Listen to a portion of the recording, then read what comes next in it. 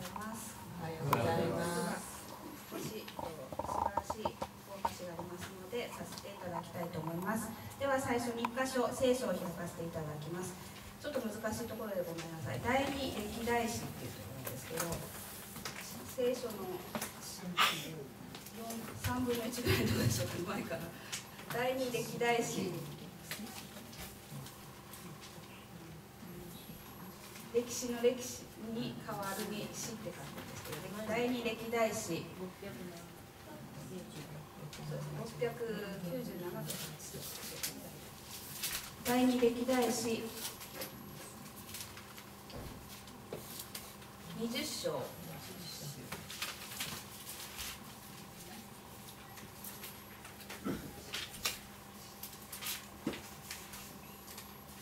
第二歴代史。20章の17節っていうところを今日は開かせていただきたいと思います。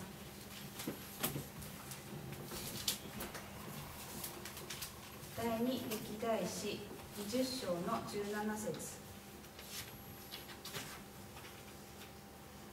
この戦いであなた方が戦うのではない。しっかり立って動かずにいよ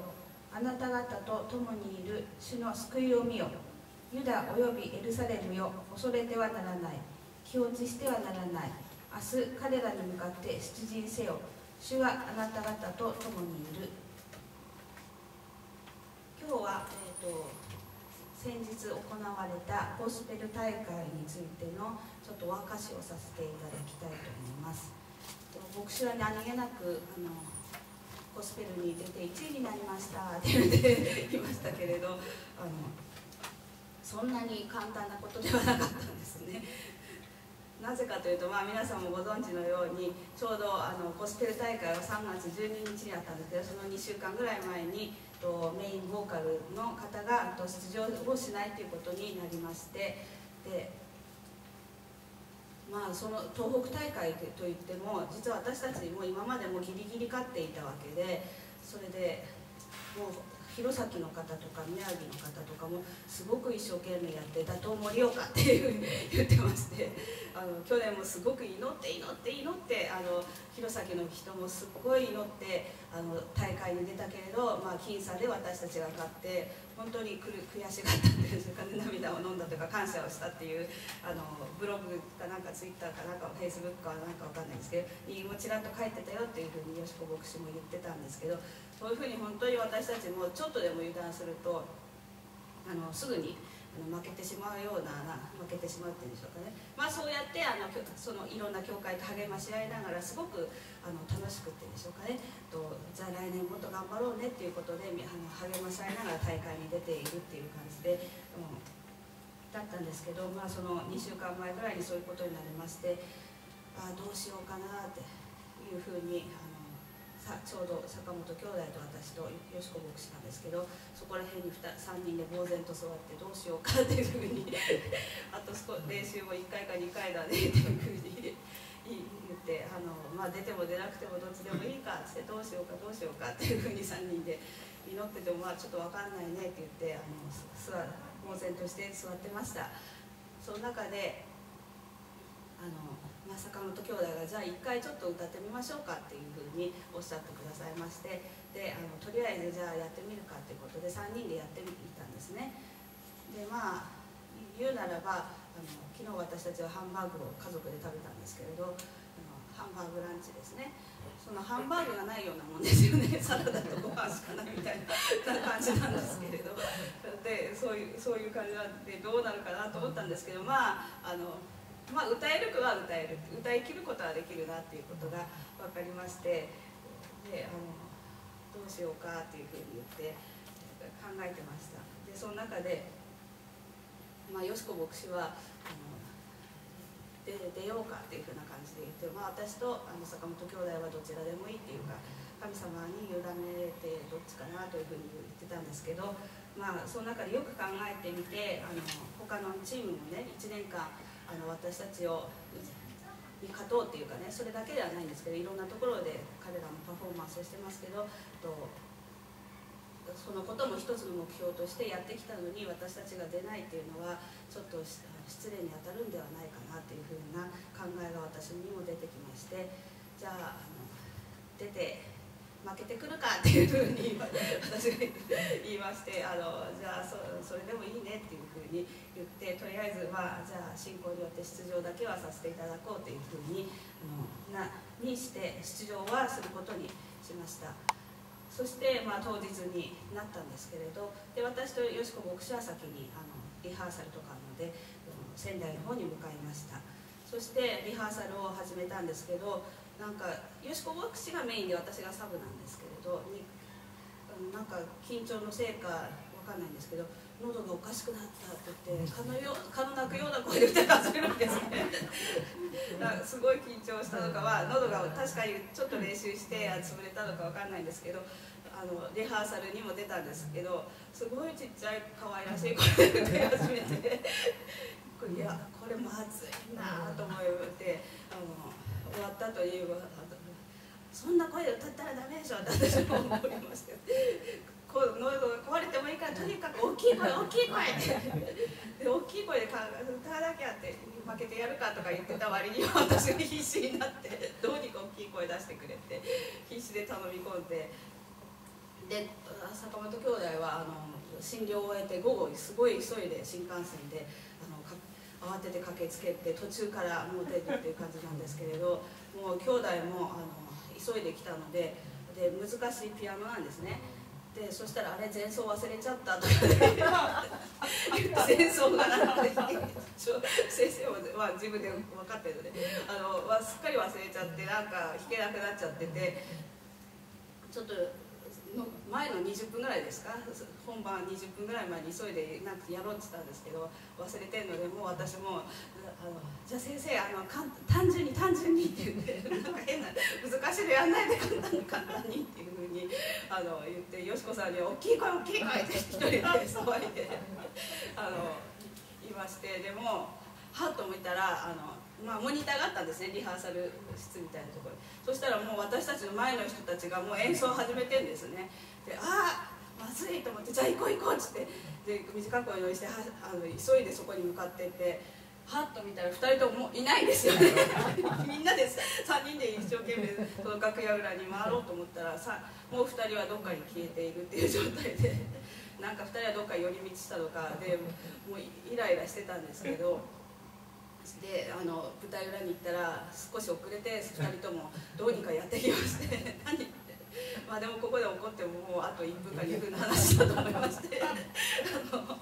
あの怒りを抑えて怒ってはたわけで心配っていうんでしょうかね。もうあの焦りを抑えてあの、まあ、そこに立っていました。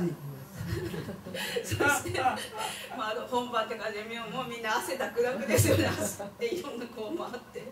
汗だくだくでこうまあ本番のところにこう何気ない顔して出てったんですけれどでであの先生の前奏が始まったらびっくりしたんですよね完璧な前奏だったんですよ複雑な難しいやつので私もびっくりして「えっ?」と後ろあの後ろに先生来てたんですけど後ろを「えっ?」と見てしまいましたちらっと。そしてよしこ牧師が先に歌い始めるんですけどそしたらよしこ牧師も朗々とすごい大きい声で歌い始めたんですねで「えー!」ってびっくりしてで今まで私は自分のことを全く考えてなかったんですよ2人がどうにかどうにかってあやばい私ちゃんと練習してなかっ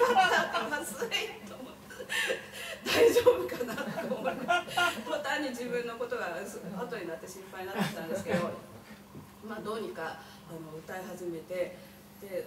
まあ、10分ぐらい前にも先生も手がちょっとフラフラでよしこ牧師もなんかなかなか声が出なくてもうどうなるんだろうと思ったんだけどその本番になったら2人ともすっごいもう大きい声が出るわピアノも完璧なピアノを弾き始めるわで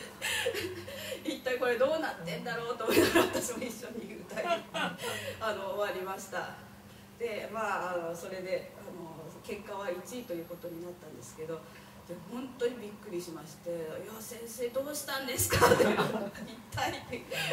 どうしたよしこさんはどうしたんですか?」ってあなたに脅迫されてたからもう必死で声を出したとか言ってましたけれどあので先生はもう精霊に導かれるままに弾きましたっていうふうに。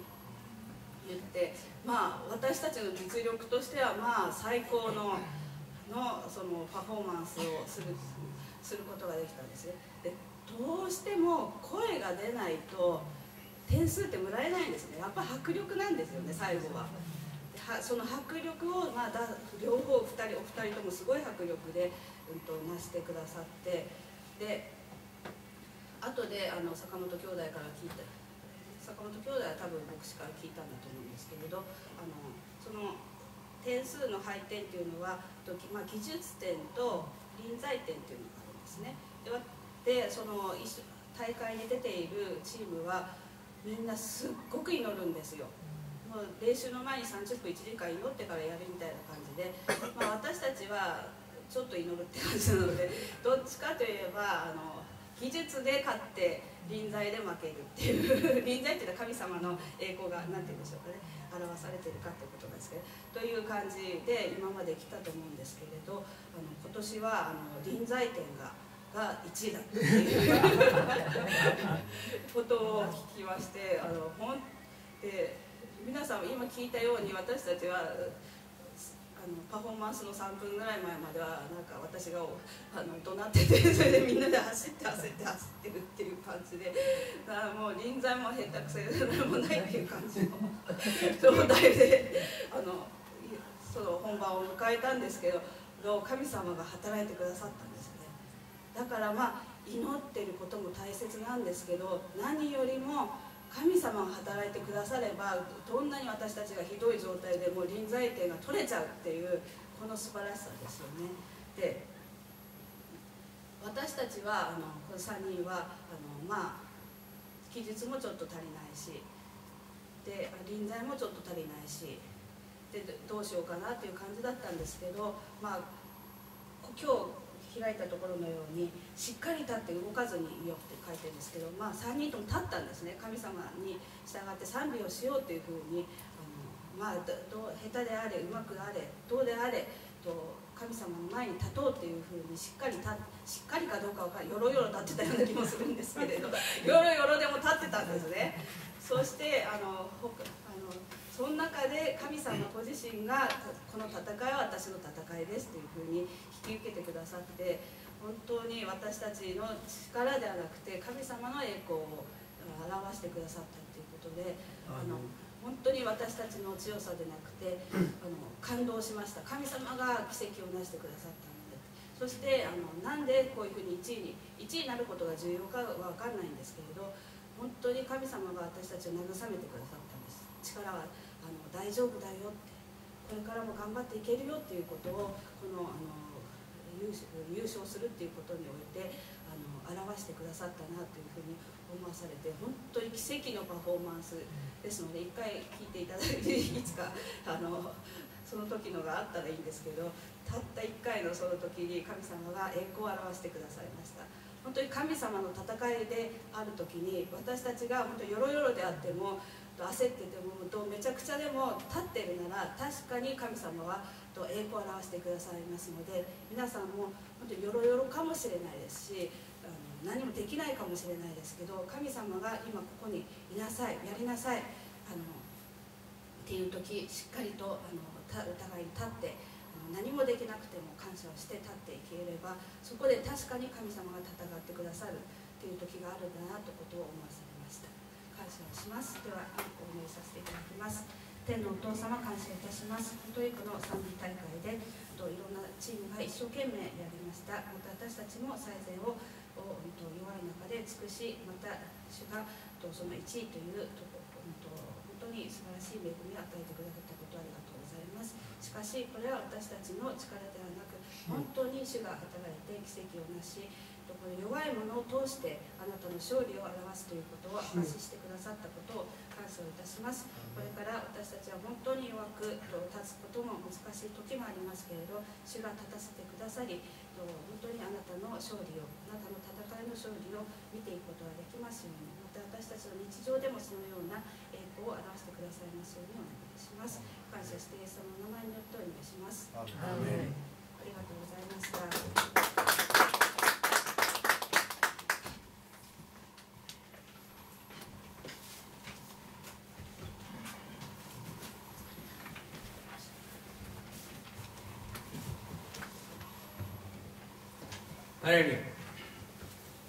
一言お祈りします。天皇お父様ありがとうございます。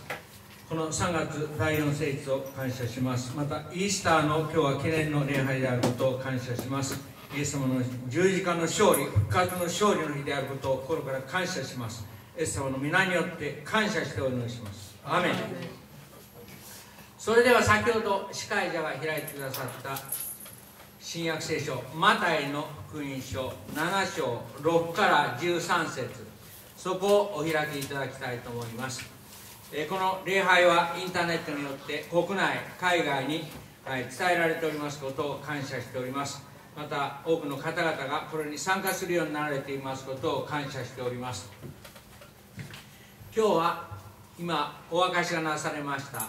先だって、えー、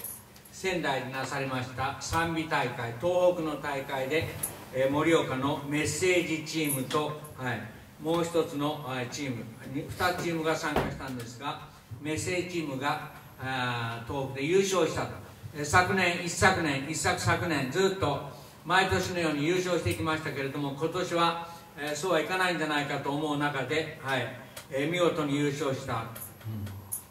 うん。えー、この3人の、はい、審査員がいるんですけれども、はい、東京のアンテオ協会そして私、えー、がそこに加わっております、はいえー、その勝った理由を今あ浦部姉妹が語られました、はい、臨在点が臨在というのは神様がそこにいると。賛美の中に精霊が働いているっていうこの臨在ですね。神様が臨在する。そこにいるというこの臨在点が素晴らしかったということを初めて私も聞きまして、はい。えー、皆を崇めた次第でございます、はい。えー、よしこ牧師も大変大きな声があ出たなと思って私も、えー、今年はあの弘前チームえー、仙台チーム、えそして福島のチームも非常にあの今年上手になってたんですね正直なところ。あ今年はあ負けるんじゃないかどうなるかこれで果たして勝てるのかなと思っておりましたけれども、はい、一番最後の最後、はい、26番目ですかねその、えー、最後に出てきましたこのメッセージチーム、うん、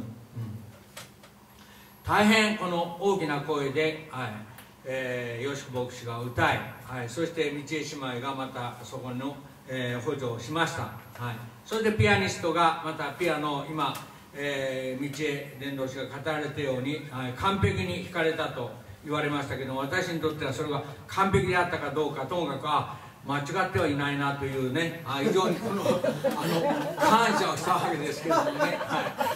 あまあ昨昨年も確かにあの、ね、立派にやってくださったんですね。はい。なかなかこの大会でねピアニストもご苦労なんですよね正直なところ。はい。それで歌い手たちもまたご苦労なんですけれども、はい、今のような理由で、はい、優勝になったということで本当に皆を崇めた次第でございます。え今日は3月の27日でしょう、はい、去年の3月の29日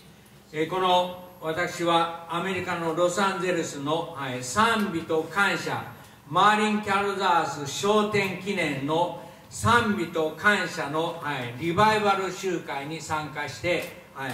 えー、それは20年ぶりにこのアメリカロサンゼルスに行きました、はい、20年前そこに行って、はい、そこに行った時は何があったか、はい、今司会メッセージを語られました道枝伝道師が、えー、ケンタッキーの、はいえ、進学校に行くのは私はあ向いていないとか、ね、行きたくないとかそういうことで、はい。えー、ロサンゼルスのよそのグループの、はい、教会そしてまたその学びの中に参加しておりました。そこに私はあこの、えー、娘を迎えに行ったわけです、え、よしこ伝道師と2人で迎えに行きました、はい、その、えー、2日3日の滞在期間の中で神様に導かれました、はい。初めて予言を語ること、ね、予言というのは語ったことないわけです、はい、その前に、はい、威厳を精霊の言葉威厳を、ね、どなたから教えられてそして自分も学んで、え少し、え、それらしきものを語るようになりましたけれども全く確信がない、うん、でもまあ威厳を語り続けてる。そういう中でこのロスの集会教会のお世話になって2日3日泊まらせていただきました。えー、オーストラリアタスマニアの出身のアバ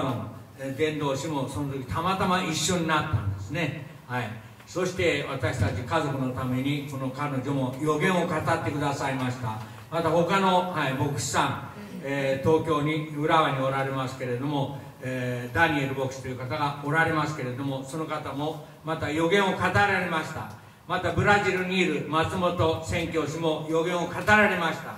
どういう予言を語ったかというと、ね、盛岡聖戦協会に、はいえー、このリバイバルが起こりそして盛岡聖戦協会に多くの人々が集まりますよということを語られました。癒しの技が起こりますよということを語られました。また今回、ね、アメリカにこの中野さんの家族があの来られたのは、はい、これは世界宣教のため世界宣教をこの教会がスタートするためですよというようなことを語られたもんですからね、はい、私も果たしてそうかなとこう思ったわけです、はい、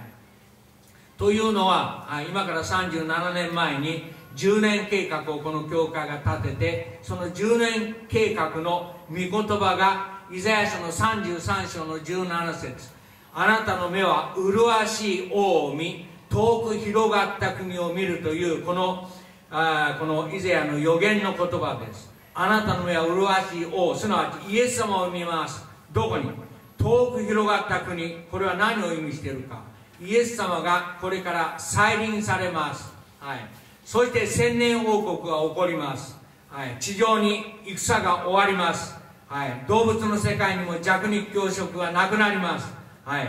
そして、はい、平和にはい、平和な時代がやってきます。また全世界に福音が伝えられて、はい、多くの人々が毎年、はい、このお祝いの時にエルサレムに、はい、礼拝に行くというこの予言がなされておりますが、はい、その御言葉遠き広き国また麗しい王を見ると、はいいうことで一体東急六国を見るって一体どこだろうかなとこう考えておったんですがその時からこの教会は、はいえこのよそのグループと一緒に、はい、北欧に、はい、スウェーデンとかノルウェーとかそしてアルゼンチンとかそして隣の韓国とか中国に行ったり次にイスラエルに行ったりエジプトや、はい、ギリシャやトルコに行ったりまたずっと今日まで、はい、この世界の、はい、派遣がなされまた予言がそれからこの語られるようになりました、はい、この教会を通して世界宣教がなされますよということを語られたので外国に行くことは行くだろうけれども世界宣教をして外国に教会を作るなんてことはできないだろうなと思っておりましたが、はい、今から何年前になりますか、はい、ここの英語礼拝の、はい、メンバーたちが、はい、外国国へ帰ることになりました。そしてフィリピンにはい、そしてオーストラリアに帰ることになってそしてこの教会の枝主教会枝教会を作るということが現実のものになりました。今フィリピンのバレンシアミンダナオとバレンシアそしてオーストラリアゴールドコースト、はい、東海岸の北にあるクーロイの町で、はい、カトリン・ブライアンたちが、はい、伝道されておられます、はい、先だっては隣の国にもまた地下教会にもお邪魔しました。はい、アフリカにも、はい、タンザニアから、はい、ケニアからそしてガーナからそしてナイジェリアからそしてザンビアからというふうに、はい。えー、アフリカの方々もこの地に、はい、7年8年英語礼拝で奉仕をしたり活動してそして国に帰って伝道者になり牧師になりその奥さんになったりして活躍しておられます、はい、ということで、はい、世界選挙が現実に起こってきたんです、はい、20年前30その6年前10年計画を立てる前盛岡の教会っていうのはこの聖戦の連合の中で、はい、言うならば一番ちっちゃな、はい、また北の、ね、盛岡にあるということで、はい。えー、本当に私と婦人伝道師使わされてきて、ね、マグマをしながら伝道しておったわけですけれども、はい、その教会が、はい、世界宣教とかね、えー、英語礼拝とか、はい。えー、いろんなことを、はい、言ったり祈ったりそして予言を語ったりするようになって今日まで来たわけですけれども、はい、昨年は20年、はい、その世界選挙を始めて20年進学を始めて20年英語礼拝を始めて20年目、はい、このロスに来たのは、はい、これは週末のリバイバルのためであるということを強く、はい、示されました。それはマーリン・キャルザー氏の、はい、全てを感謝して歩みなさいというそのテサロニケの、はい、その言葉ですね。5章の161718、はい、その言葉。それはリバイバルの、はい、感謝と賛美のリバイバル集会だということで、はい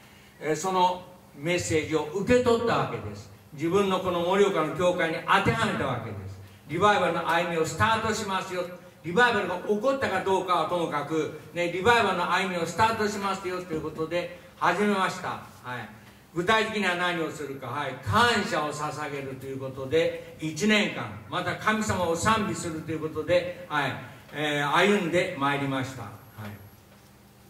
い、1年経った時に、はい、何を、はい、昨年感謝したか、いろんな出来事が起こったわけです。感謝だなっていう出来事と、ね、これは厳しいなっていう出来事と、はい、プラスとマイナスのこの両面が起こってきたんですね、うん、ですから先だとも誰かが言っておりました、はい。えー、このリバイバルの歩みというのは簡単じゃないんですよということを言っておりました。リバイバルの歩みというものは、ね、何が起こる悪魔がサタンが猛烈に働くんですよと。多くの人々がイエス様に立ち返るわけです、ね、日本の、ね、人口の、ね、5割とか6割の人々が、ね、教会に立ち返るなんてこと皆さんちょっと考えられないでしょう、ね、終戦直後、ね、全国の教会に、はい、アメリカから物資が送られてきてそして、ね、未信者の方々が教会にたくさんたくさん集まりました。私の母教会の東京の荒川教会にもたくさんの方が集まってそしてえー、教会をスタートしたその直後、ね、毎年30人とか20人とか、えー、30人とか多くの人々が洗礼に預かったことを私も知っております。はい。えー、ということで、はい。えー、昔そのような時があったことはあったわけですけれども、はい、週末のリバイバル、えー、その歩みが、はい、去年から。そして全てを感謝することを通してそれは起こってくるんだと。うん、もちろんお祈りをするわけです、はい、伝道するわけですけれども、はい、感謝がその中心である。全てのことを感謝するという、はい、そのことを通して精霊様が働いてくださるということで1年やってきたわけです。今こういう中に、はいえー、賛美の、はい、報告がまたその一端が明かされたわけです、はい、そういう中で賛美の大会にも出ました。